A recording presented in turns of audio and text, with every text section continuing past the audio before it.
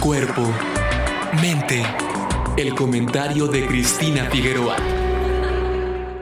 Aunque no existe ningún cuadro clínico con la denominación del síndrome del emperador, se usa esta expresión para referirse a niños que presentan determinadas características, como insensibilidad emocional, poca responsabilidad ante el castigo, dificultades para desarrollar sentimientos de culpa y ausencia de apego hacia los progenitores y otros adultos. También se ha denominado trastorno de oposición desafiante, TOD, son sus siglas. Los niños emperadores son fácilmente distinguibles. Suelen mostrar rasgos de personalidad propios del egocentrismo y carecen de tolerancia a la frustración. No conciben que sus exigencias no sean cumplidas. Estos rasgos no pasan desapercibidos en el entorno familiar y mucho menos en el escolar, donde sus exigencias pueden ser menos satisfechas. Son niños que no han aprendido a autocontrolarse ni a regular sus propios sentimientos y emociones.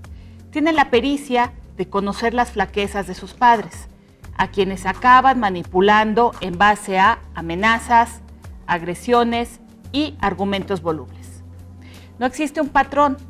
A veces es el hermano pequeño, otras el mayor, otras el hijo único o el adoptado, otras son hijos de padres mayores o de una familia monoparental, etc. ¿Cuáles son las razones?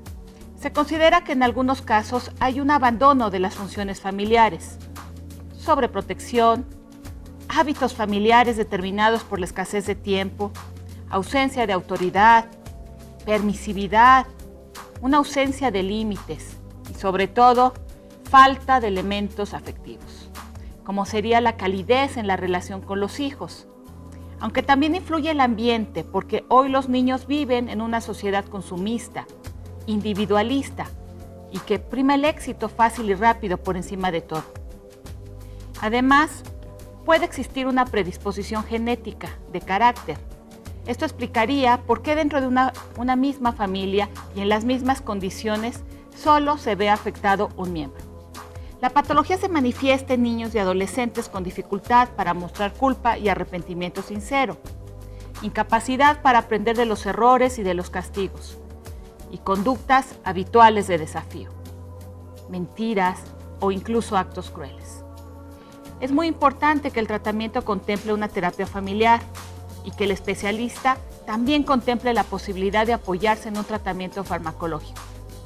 Sin embargo, la sensibilidad y apertura de los padres para aceptar que pueden necesitar ayuda es el primer paso, sobre todo para evitar que los síntomas se incrementen en la adolescencia.